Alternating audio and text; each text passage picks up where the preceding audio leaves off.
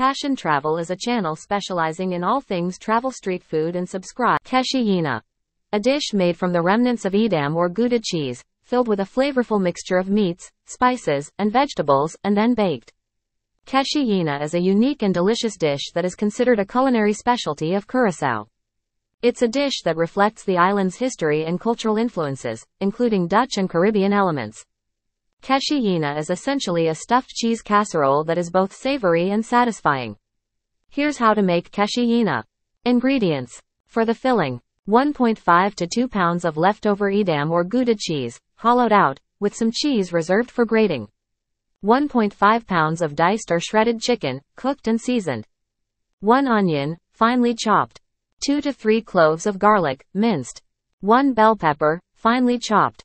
1 to 2 tomatoes, diced. 1 half cup of raisins. 1 half cup of sliced green olives. 1 quarter cup of capers. 1 quarter cup of tomato ketchup. 2 to 3 hard-boiled eggs, sliced. Salt and pepper to taste. Cooking oil for sautéing. For the sauce, 2 to 3 tablespoons of tomato ketchup. 2 tablespoons of Worcestershire sauce. 1 to 2 tablespoons of soy sauce. 1 to 2 tablespoons of hot sauce, optional, for a spicy kick. A pinch of sugar. Instructions. Prepare the filling. In a skillet, heat some cooking oil over medium heat. Sauté the chopped onion, minced garlic, and bell pepper until they become soft and translucent. Add the diced or shredded chicken and cook until it's heated through. Season with salt and pepper to taste. Stir in the diced tomatoes, raisins, sliced green olives, capers, and 1 quarter cup of tomato ketchup. Cook for a few more minutes until all the ingredients are well combined. Adjust the seasoning if needed. Prepare the cheese shell. Take the hollowed out cheese, the leftover Edam or Gouda, and line it with some aluminum foil or banana leaves to prevent leakage. Fill the cheese shell with the prepared chicken and vegetable mixture. Layer slices of hard-boiled eggs on top. Prepare the sauce. In a separate bowl, mix together 2 to 3 tablespoons of tomato ketchup, Worcestershire sauce, soy sauce, and hot sauce, if using. Add a pinch of sugar to balance the flavors. Assemble and bake. Pour the sauce over the filled cheese shell, ensuring it's well coated. Grate the reserved cheese and sprinkle it over the top to create a cheesy crust. Bake. Preheat your oven to 350 degrees Fahrenheit, 175 degrees Celsius.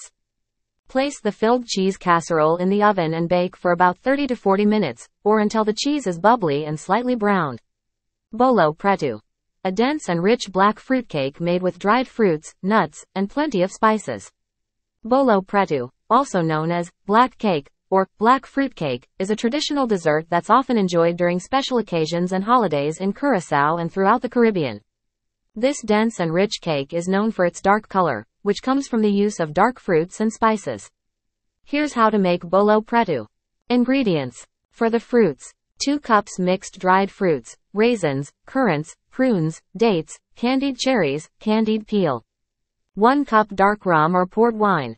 For the cake, 1 cup butter, 1 cup brown sugar, 6 eggs, 1 cup molasses, 1 teaspoon vanilla extract, 2 cups all-purpose flour, 1 teaspoon baking powder, 1 half teaspoon baking soda, 1 teaspoon ground cinnamon, 1 half teaspoon ground nutmeg, 1 half teaspoon ground allspice, 1 quarter teaspoon ground cloves.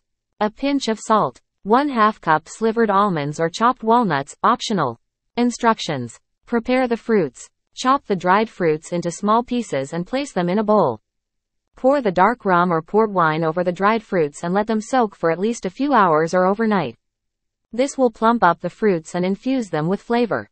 Preheat the oven. Preheat your oven to 325 degrees Fahrenheit, 160 degrees Celsius. Grease and flour a 9-inch round cake pan. Cream the butter and sugar. In a large mixing bowl, cream together the butter and brown sugar until light and fluffy. Add the eggs and flavorings. Beat in the eggs one at a time, mixing well after each addition. Stir in the molasses and vanilla extract. Combine the dry ingredients. In a separate bowl, sift together the flour, baking powder, baking soda, spices, and a pinch of salt. Combine the batter. Gradually add the dry ingredients to the wet ingredients, mixing until well combined. Fold in the soaked dried fruits and, if desired, the slivered almonds or chopped walnuts. Bake. Pour the batter into the prepared cake pan and smooth the top. Bake in the preheated oven for about 1.5 to 2 hours, or until a toothpick inserted into the center comes out clean. The exact baking time may vary, so keep an eye on it. Cool and store. Allow the bolo pretu to cool in the pan for a while before transferring it to a wire rack to cool completely. Ayaka. Similar to tamales, ayaka consists of masa, dough, filled with a mixture of meat, olives, capers, and raisins, wrapped in banana leaves and steamed. Ayaka is a traditional dish enjoyed in various Caribbean countries, including Trinidad and Tobago, Venezuela, and parts of the Caribbean coast of Colombia. It is especially popular during the Christmas season and other special occasions. Ayaka is similar to tamales but has its own unique flavors and preparation method. Here's how to make ayaka.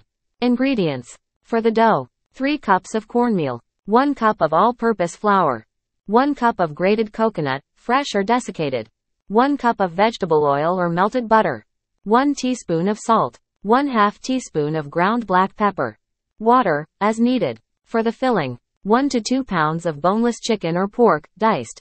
1 onion, finely chopped. 2 cloves of garlic, minced. 1 bell pepper, finely chopped. 1 to 2 tomatoes, diced. 1 half cup of raisins. 1 half cup of sliced green olives. 1 half cup of capers. 1 quarter cup of tomato ketchup. 1 quarter cup of Worcestershire sauce. 1 quarter cup of soy sauce. Salt and pepper to taste. Cooking oil for sautéing. Banana leaves or foil for wrapping. Banana leaves, washed and cut into squares, or aluminum foil if banana leaves are not available. Kitchen twine or strings for tying. Instructions. For the filling. In a skillet, heat some cooking oil over medium heat.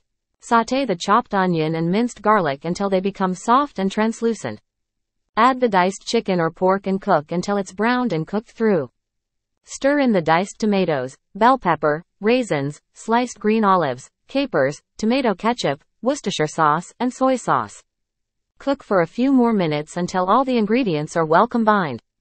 Season the filling with salt and pepper to taste. Remove it from the heat and let it cool. For the dough, in a large mixing bowl, combine the cornmeal, all-purpose flour, grated coconut, salt, and ground black pepper. Gradually add the vegetable oil or melted butter and mix to form a crumbly mixture. Slowly add water while mixing until the dough comes together and can be easily shaped into a ball. The dough should be moist but not too wet. Bati. A sweet and dense pancake made with cornmeal, often served with syrup or cheese. Bati. A sweet and dense bati is a traditional Caribbean dish that is particularly popular in Curacao and other Dutch Caribbean islands. It is a type of pancake made with cornmeal, similar to polenta or cornbread. Bati can be served as a side dish or even as a sweet dessert when drizzled with syrup or honey. Here's how to make bati. Ingredients. 1 cup of cornmeal, 2 cups of water, 1 half teaspoon of salt, 1 to 2 tablespoons of sugar, optional, for sweet bati. Cooking oil or butter for frying. Instructions. Mix the cornmeal and water. In a bowl, combine the cornmeal and water. Stir until well mixed. You can also add sugar at this point if you want to make sweet bati. Cook the mixture. Pour the cornmeal and water mixture into a saucepan and place it over medium heat. Stir constantly as the mixture thickens. It should reach a consistency similar to polenta or thick oatmeal. This process can take about 10 to 15 minutes. Season with salt. Once the mixture has thickened, add the salt and stir well. Shape and fry. While the mixture is still hot, scoop out portions and shape them into round patties or cakes, about 2 to 3 inches in diameter. Heat some cooking oil or butter in a skillet over medium-high heat. Carefully place the shaped bati into the hot oil or butter. Fry until golden brown. Fry the bati on both sides until they are golden brown and have a crispy crust. This usually takes a few minutes on each side. Drain and serve. Remove the bati from the skillet and place them on paper towels to drain any excess oil or butter. Serve hot. Bati is best served hot. It can be enjoyed as a side dish with savory stews, soups, or seafood dishes. If you made sweet bati, you can serve it with syrup, honey, or jam as a dessert. Bati is a versatile dish that can be adapted to your taste by adjusting the level of sweetness and serving it with various accompaniments. Whether you prefer it as a savory side or a sweet treat, Bati is a beloved part of Caribbean cuisine. Pancake made with cornmeal, often served with syrup or cheese. Boka Max. A seafood dish featuring fish or shrimp cooked in a spicy tomato-based sauce. Boka Max. It sounds like a delicious seafood dish with a spicy tomato-based sauce, which is a common theme in Caribbean cuisine. Seafood is abundant in the Caribbean, and it's often prepared in a variety of flavorful and aromatic sauces. Here's a general idea of how you might prepare a Boka Max style seafood dish. Ingredients. Fresh fish fillets or shrimp, you can use your preferred seafood.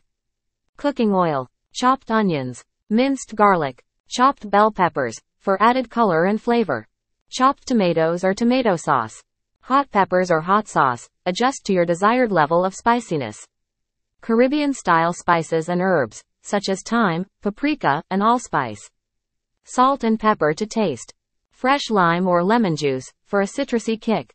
Fresh cilantro or parsley for garnish. Instructions. Prepare the seafood. If using fish fillets, season them with salt, pepper, and a squeeze of lime or lemon juice. If using shrimp, peel and devein them, leaving the tails intact, and season them similarly. Saute the aromatics. Heat some cooking oil in a skillet over medium-high heat. Add chopped onions, minced garlic, and chopped bell peppers. Saute until they become fragrant and the onions are translucent. Add the tomatoes and spices. Add chopped tomatoes or tomato sauce to the skillet. You can use canned tomatoes or fresh tomatoes. If using fresh tomatoes, you can blanch and peel them before chopping. Season with Caribbean style spices and herbs. Common choices include thyme, paprika, and allspice, which contribute to the dish's unique flavor. Add hot peppers or hot sauce to achieve the desired level of spiciness. Adjust to your taste. Cook the seafood. Carefully place the seasoned fish fillets or shrimp into the tomato-based sauce. Cover the skillet and let the seafood cook until it's fully cooked and flakes easily for fish or turns pink for shrimp. Cooking times will vary depending on the thickness of the seafood. Garnish and serve. Before serving, garnish the Boka Max with fresh cilantro or parsley. Serve the dish hot, either on its own or with a side of rice, plantains, or bread to soak up the flavorful sauce. Boka Max is a delightful and flavorful way to enjoy the abundant seafood found in the Caribbean. The spicy tomato-based sauce adds a kick of heat and a burst of vibrant flavors to the dish, making it a favorite among those who appreciate Caribbean cuisine.